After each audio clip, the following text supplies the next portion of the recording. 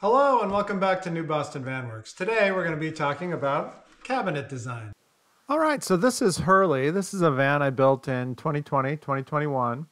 And I uh, did a lot of cabinetry work in this van, and it was one of the most uh, time consuming aspects of this build. And I wanted to come up with a way to simplify the cabinet building process and make it easier and quicker. So, uh, one of the things that we're going to be that's what we're going to be talking about in this video is is how I decided to change up the design and and hopefully make it easier and quicker to build. Okay, this is the design of my last fan. And as you can see, we had a galley cabinet and a, uh, and a fridge cabinet. This is the electrical cabinet. This is the water cabinet. And uh, this is a real nice design. I really like it.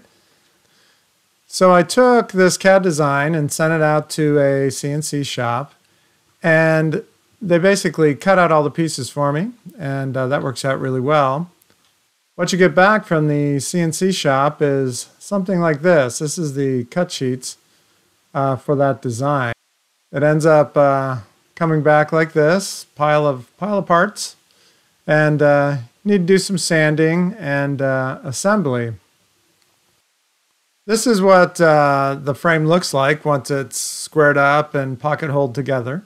Um, makes a pretty good frame, and then this will be filled in with the drawers and other panels. This is the nearly fully assembled uh, cabinet right before it goes to the paint process with the uh, refrigerator mounted inside. And this is the installed and finished cabinet. Turns out really nice and uh, works well. The way that I assembled this was to basically measure and reassemble everything, square it up with clamps, and uh, then very carefully pocket hole everything together. And that is a bit of work. So I decided to do something different in this build and uh, do some mortise and tenon joints that would help the assembly process. This is a little test box that I've designed uh, to uh, kind of explore that concept. And as you can see, we have tenons and uh, hidden mortises, so that this will provide a really nice and clean look for the resulting product. On the sides here, I uh, have the tenons go all the way through. Um, and that's just uh, because I'm machining this face, so it makes it a little bit easier. So once this is cut out, it assembles very easily. Basically, everything kind of uh, just clicks right together. And then all the faces square everything up so that the process of pocket holing it all together really goes very smoothly and easily. With the design complete, uh, went to the CNC machine to cut out the parts and uh, went through a few iterations working through some issues with the joints and such. On the third one, uh, had a pretty good uh, pretty good result. So uh, pulled off the sheet and then just uh, cut out the tabs and we are ready to go. Okay, I've got all the pieces uh, from the CNC job cut out and uh, they're ready to be assembled. So I used mortise and tenon joints um, to make the assembly a lot easier and I'm going to go through and put in pocket holes in all the appropriate places uh, and then we'll assemble the box. So here we go. Since I'm mixing uh, mortise and tenon joints with uh, pocket holes, I needed to do a modification to my pocket hole jig. And uh, because of the tenon, needed space for it. So I just drilled that out and uh, with a little Dremel work and made a slot. Now I can fit these in and, uh, you know, spreaders or an entire side and put in the pocket holes very easily um, just as the tenon just drops in. The modified pocket hole jig made it really easy to drill in the pocket holes on the spreaders and the side pieces. Um, you know, of course, keeping in mind that this is just a test cabinet and the actual van cabinets will be much larger. It should all work out really well. All right, now I have the uh, pocket holes drilled into the uh, all the necessary spots in the box and now I'll assemble it. And this is a great part. Um, this should be really easy. So here we go. We'll just do a uh, test assembly.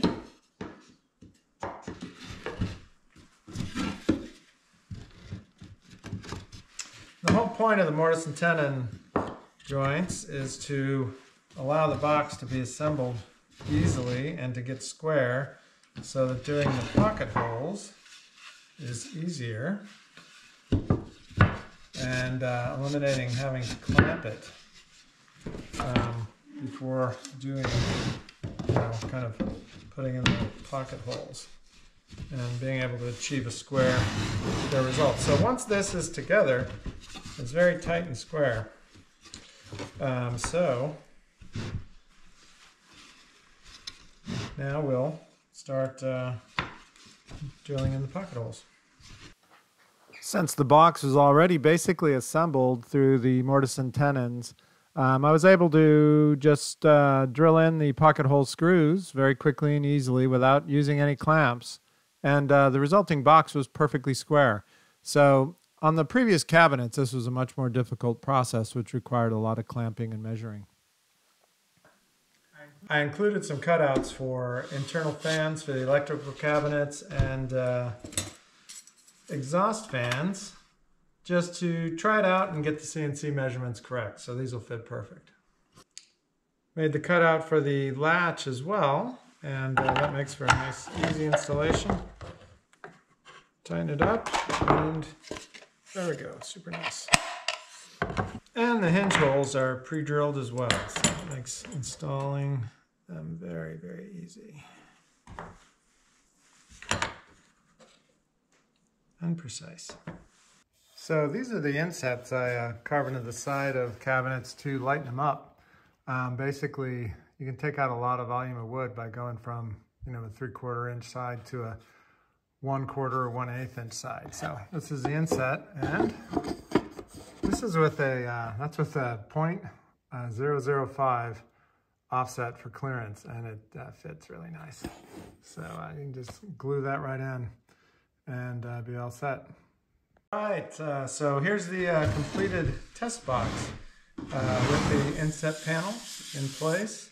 Um, basically just a uh, cutout for a fan in the top. That's for the electrical cabinet. Uh, exterior vent, that'll be for the side of the electric cabinet. And uh, then the door with hinges and a latch. So this all came together really well. Uh, this is just cheap plywood. I uh, didn't want to waste Baltic birch on a test cabinet, so it'll look a lot smoother with um, Baltic birch in the end. But this proves out kind of all the components I want to get into the cabinets in the van. Um, the mortise and tenon joints work really well. It's very easy to put together with the uh, pocket holes and uh, turned out real nice and sturdy. So onto, uh, onto the other cabinets. All right, so with the completion of the test cabinet, I'm going to move on to designing uh, the rest of the cabinets for the van in CAD. Uh, I've been inspired by a Murphy bed design that Campo Vans uh, does. I'll put a link to that video in the description. It's a great layout, creates lots of uh, usable space in the van um, with a lot of cargo room as well. So it's a great design. I'm going to implement that in this van. So the next few videos will be the uh, kind of CAD design process. So please uh, stay tuned for that. And uh, as always, like and subscribe. And uh, thanks for stopping by.